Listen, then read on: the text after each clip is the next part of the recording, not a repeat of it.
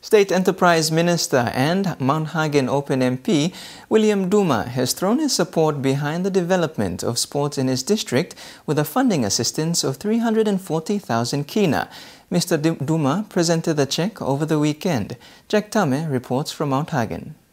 Checks totaling 340,000 kina was presented by the minister to 22 different sporting codes in his electorate. Gomis Rugby League received 120,000 kina. Komkui Duma Opposition received 80,000 kina. Duma Urban City Settlers received another 80,000 kina. Mount Hagen Soccer League received 30,000 kina and Mount Hagen Basketball League received another 30,000 kina. Duma, when presenting the check, said, as the responsible member, he has initiated Duma Gomis opposition is to give chance to the youths who live in the squatter settlements of Mount Hagen. He said, through his effort, he is proud to see that some of the players have made it to the international and national sporting arena.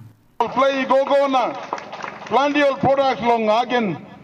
Gomis or Duma Gomis Option League, Olegama Kumul. Sambla play lo England now. One or two play long Australia now.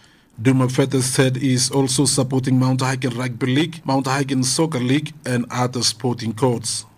Me too, me try me all na me start give him all help him now work at least try bet long improve him have him Hagen League now.